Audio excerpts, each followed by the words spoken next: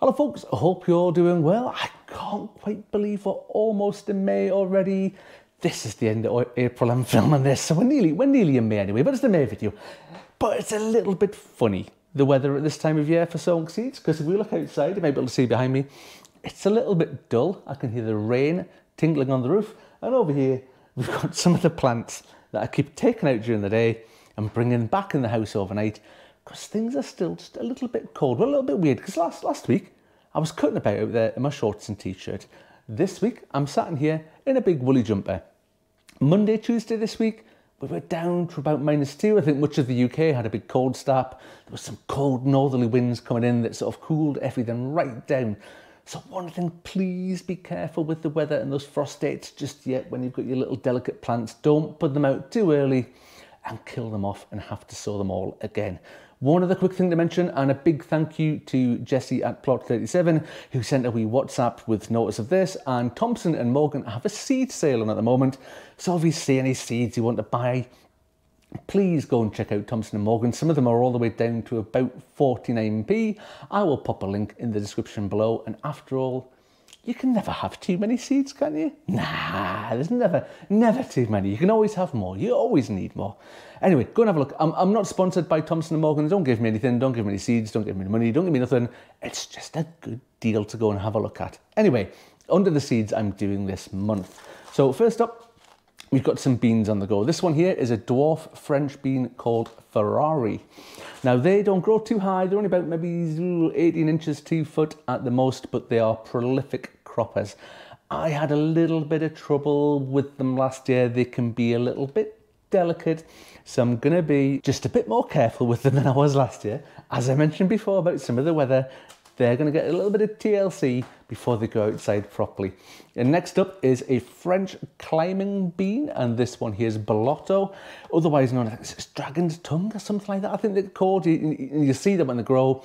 They're in this beautiful sort of whitey, creamy sort of case. And the beans this colour as well, they've got these already pinky spots all over them. They look absolutely amazing, fantastic. And the good thing is you can pick them young and you can cook them straight away, or you can dry them out and you can store them and you've got a good supply of beans all the way over the winter.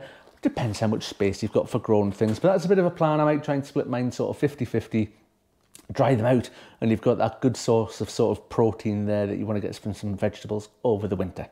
Next up, I'm going to get the sweet corn on the go this month and this one here is a variety called Incredible F1. Now that's pretty much my go-to variety. Sweet corn is the one I use year after year. It's a really good cropper despite the, the best efforts of the rats at the allotment, trying to eat it all all the time. It gives loads and loads and loads of sweet corn. It's well worth a try. If you've never done sweet corn before, try Incredible F1. It's not too difficult to grow.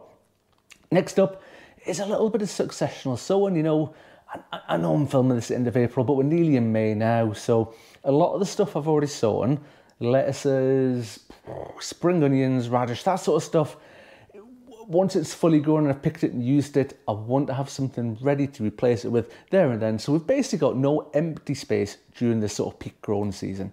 So the next things I'm going to get on the go is some more spring onions. This variety here is called Evergreen and it's a bunching onion, so I'll multi-sow them, you know, five or six seeds in each hole.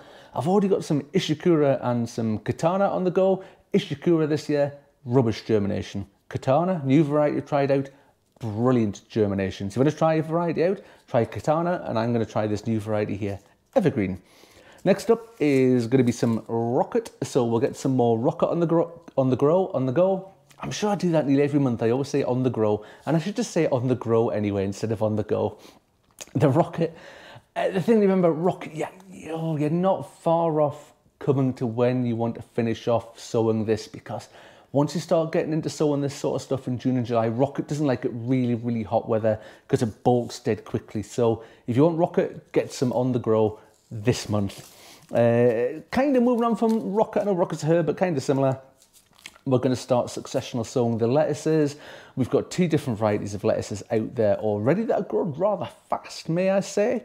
And this is a, a new variety we're trying called, called Parris Island Cos. I like a Cos lettuce, so we'll get some of these on the go. And as and when we pick those, hopefully those little plants will be ready to replace them with. And again, speaking of successional sowing, the last one we're going to do is radish. So we've got some rainbow radish and some other different type of radish. The, the name evades me. Never tried this one before. This is a new one to do the successional song again. This one is Flamboyant 3. A lovely sort of red one there. So we'll give that a try and we'll see how it works out. Next up, herbs. It's that time of year. We're going to get some herbs on the go.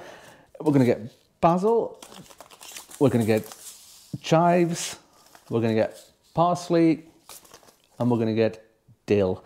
One thing to say about growing fresh herbs is always grow way more than you think you're going to need.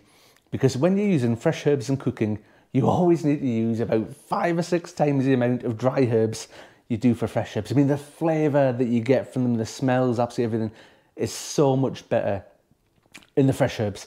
And they, they love the warm weather, the hot weather for growing it outside. So if you're doing fresh herbs, please grow loads and loads and loads and loads and loads and loads and loads of them because you need way more than you'll ever think you do.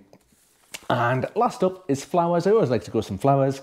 Now I do have some sunflowers on the go, but I'm going to do a few more. And I got these two packets of seeds free in a magazine this month, so I thought, well, why not give them a go? This one here is called Starburst Mixed, and it looks like there's some beautiful different colours in there, some oranges, yellows, reds, pinks, that sort of things. So we'll get them on the go. And the other one we're going to do is Sweet William. Now I've never done Sweet William before. This will be the first time. We'll give it a bash and hopefully it turns out all right. Anyway, that's what I'm sowing this month. If you want to see how those seeds get on, please think about subscribing. It's absolutely free. You just have to click the button and that is you subscribed. Anyway, thank you very much for watching, folks, and hopefully I'll see you on the next one. Bye for now.